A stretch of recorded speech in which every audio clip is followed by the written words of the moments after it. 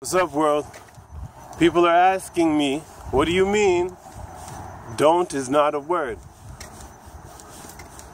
They're like, I just said it. Look, don't. I'm like, okay, but did you say a word?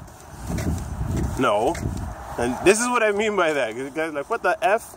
What are you talking about? So, words are invisible yet physical. Somebody compliments you, it literally feels good. Somebody insults you, it literally feels bad. Because words are invisible yet physical. They are physical, they carry a weight to them. Every word is made of vibrations, eh, vibrating ions. Ding! Hold on, it's getting noisy. Sorry about that. So, yeah. Words are made from vibrating ions and they carry a weight to them. Words are made from letters. Letters.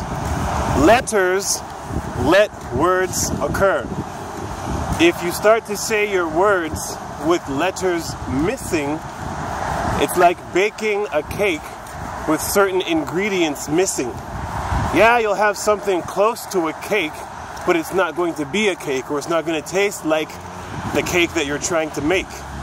So when you say something like don't instead of do not, you're not really saying do not. You're not saying all the letters of each word that have a vibrating ion to them to make certain things manifest. You're taking a shortcut.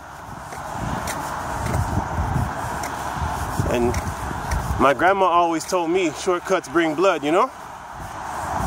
So it's better to take the long route. Children, do not do that. Oh, snap, he's serious. I will not do that. Right? Not won't or can't. And it's as simple as that. Is that simple? We'll see.